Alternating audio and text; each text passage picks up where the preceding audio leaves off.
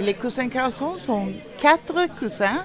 On a, euh, there are two boys. One of them is Il y a deux garçons, l'un est français, Alex, et l'autre est suédois. Il y a aussi deux filles, deux sœurs. Une grande, timide, un peu comme moi quand j'étais enfant. L'autre est grosse, petite, joyeuse. On l'appelle Bourdon. Chaque livre comporte deux facettes. Il y a d'abord une enquête, une énigme à résoudre sur l'île. Quelquefois, cela fait un peu peur. Et puis, il y a aussi une question de société.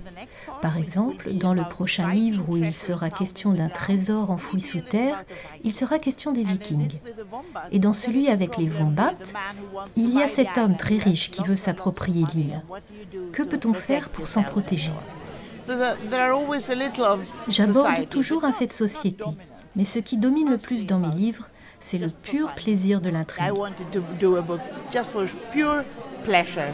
J'adorais Annie Bliton quand j'étais jeune. Quand vous écrivez pour les adultes, vous collez plus à la But I love réalité. writing Moi, for children. j'adore écrire pour les enfants. On peut user son imagination beaucoup plus en- en- quand on, on écrit pour les enfants et j'aime ça.